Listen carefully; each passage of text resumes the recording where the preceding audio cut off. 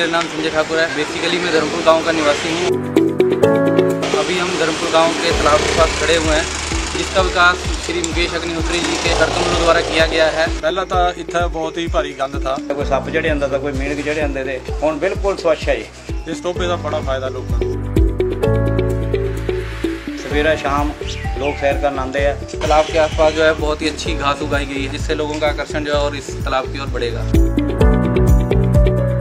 लोगों को जहाँ पे घूमने फिरने के लिए एक अच्छा साधन मिल गया है ਇੱਥੇ ਹਵਾ ਬਿਲਕੁਲ ਠੰਡੀ ਆਉਂਦੀ ਹੈ ਆਉਣ ਵਾਲੇ ਸਮੇਂ 'ਚ ਇਸ ਟੋਪੇ ਦੀ ਬਹੁਤ ਤਰੱਕੀ ਹੋਏਗੀ ਮੱਛੀਆਂ ਵੀ ਪਾਈਆਂ ਜਾਣਗੀਆਂ ਇੱਥੇ ਸਮੇਂ ਅਨੁਸਾਰ और इसकी आमदनी जो है पंचायत को दी जाएगी ਆਲੇ ਦੁਆਲੇ ਵਿੱਚ ਜਿੰਨੇ ਵੀ ਪਿੰਡ ਹੈ ਸਾਰੇ ਜੀ ਡੋਬੇ ਇੱਕ ਰਾਤ ਬਣਾਤੇ ਸਾਰੇ ਮੁਕੇਸ਼ ਅਗਨੀਹੋਤਰੀ ਦਾ ਧੰਨਵਾਦ ਹੈ ਉਹਨਾਂ ਤਾਂ ਇੰਨਾ ਵਿਕਾਸ ਕਰਾਤਾ ਕਿ ਅੱਜ ਵਿਕਾਸ ਦੀ ਵੀ ਦੱਸਣੇ ਦੀ ਕਿਸੇ ਨੂੰ ਲੋੜ